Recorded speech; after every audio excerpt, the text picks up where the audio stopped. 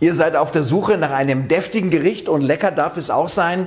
Genauso ging es uns auch und wir haben reingeschaut in Omas Rezeptbuch. Und was haben wir gefunden? Einen Krustenbraten vom Schweinebauch mit einer Käsefüllung. Wie das funktioniert, seht ihr jetzt. Klappe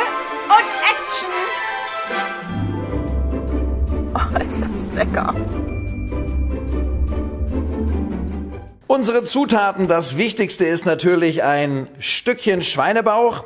Ich habe mir von dem Schlachter hier schon mal die Rippen und den Knorpel herausschneiden lassen. Das perfekte Stück überhaupt. Die Schwarte hier, die wird nachher zur Knusperkruste und weitere Zutaten für die Füllung sind drei Zwiebeln, vier Esslöffel Senf, ein bisschen Thymian und Rosmarin, damit ich überhaupt eine schöne Füllung bekomme, habe ich hier ein bisschen Panierbrot. Da kommt ein Ei dazu und als Käsefüllung habe ich mich für einen Cheddar-Käse entschieden.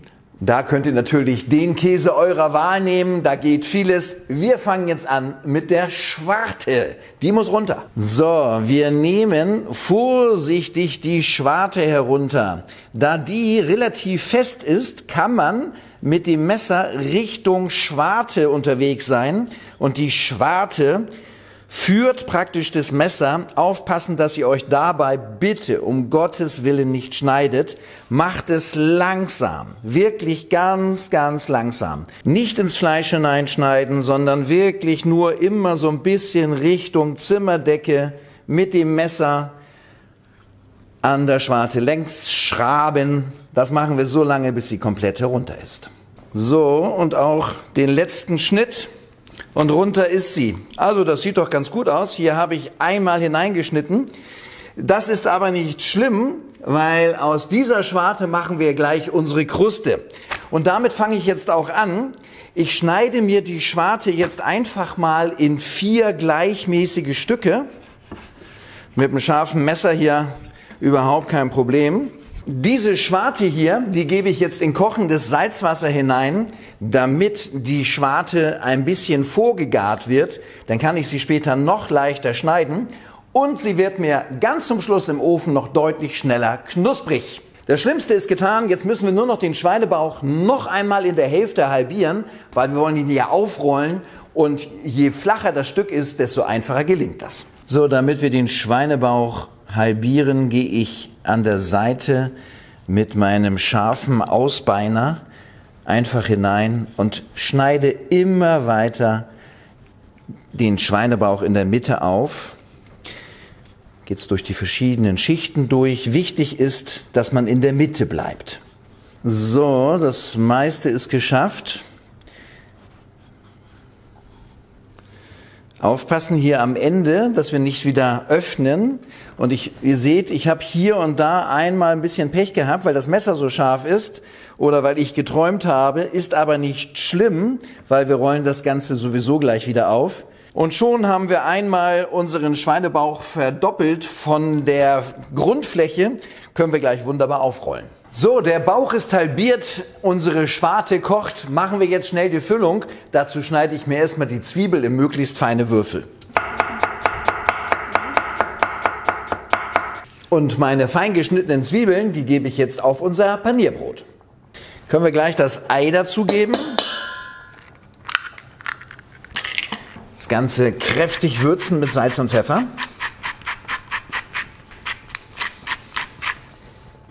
geben wir auch gleich unsere nicht unbeträchtliche Menge Senf hinein. Schau mal, mit so einem Silikonwerkzeug kann man schon vernünftig arbeiten. Ne?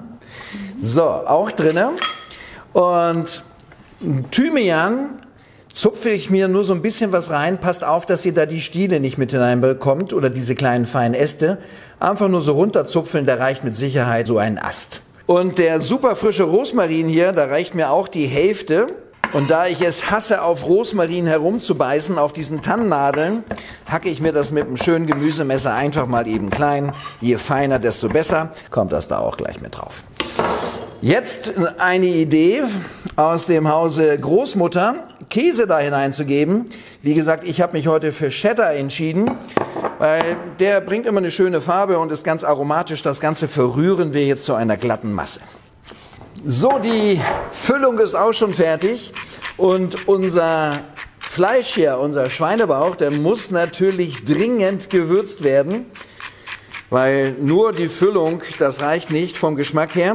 Also kräftig würzen von innen mit Salz und Pfeffer. So.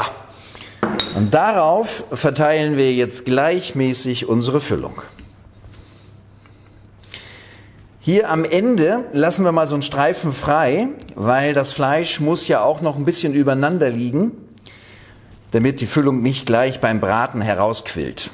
Haben wir so einen kleinen Teppich und jetzt rollen wir das Ganze relativ eng auf. Richtig schön stramm aufrollen.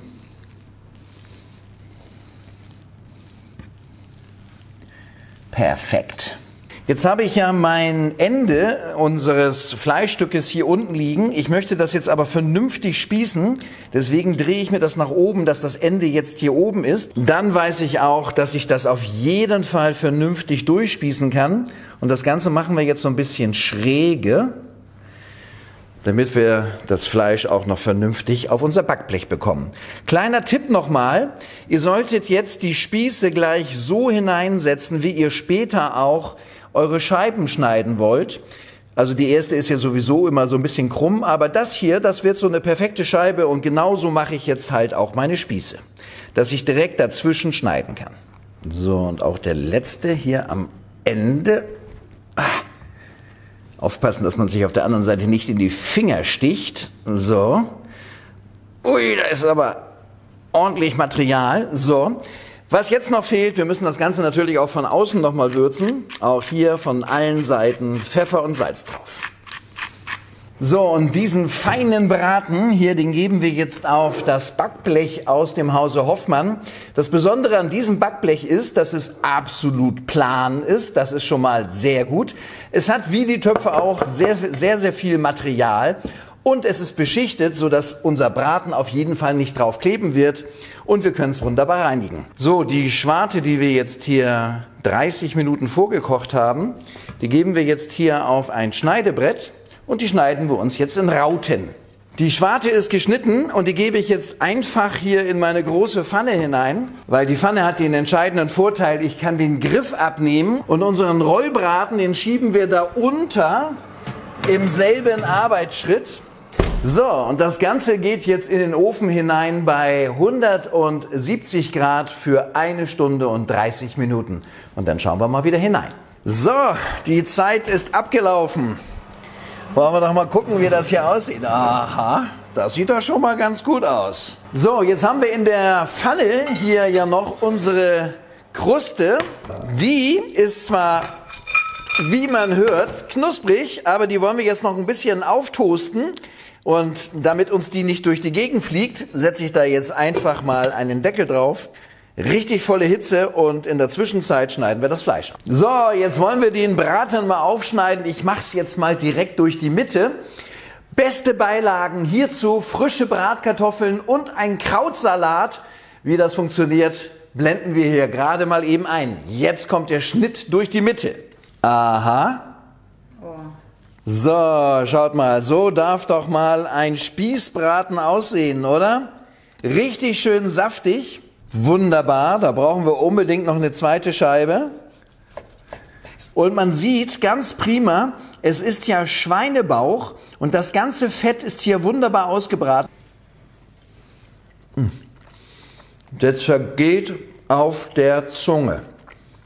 Super zart. Mmh. Mein Gott, ist das lecker. Richtig gut. Jetzt mal eben die Kruste. Achtung, spitzt die Ohren.